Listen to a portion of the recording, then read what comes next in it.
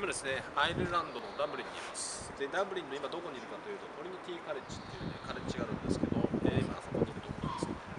でトリニティカレッジっていうのはアイルランドで最古の大学ということで由緒正しい大学らしいですね。かなり歴史があり難易度も高い知名度も高いところですで今図書館ですねライブラリー英語で言ったライブラリーです。図書館の方に行きたいと思いますそうするとこんな感じで回る物体がありますね。これ何でしょうね一体。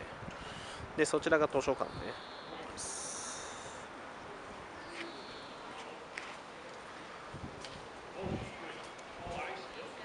でここら辺周りがですねあのー教室ですね。まあ基本的に昔からの建物のあのところが多いです。こっち見ると結構新しめのところなんですけどね。こっち側昔からの古い建物をそのまま教室として利用してます、ね、昔ながら変わらないですね。歴史がある。まあ日本の大学なんかでもねまあ古い建物ってあるんですけどね基本的に戦後以降のものが多いですね。まあたまに戦前から残っててねまあ戦争で焼けてしまったものが多いからってのもあるんですけどね。で、えー残ってるものもたまにあるんですけど基本的には新しい建物が多いですね。で生徒でなくてもまあこういうふうにね、まあ、有名な大学ってことでこれだけ人がこれだけ見学しに来てます。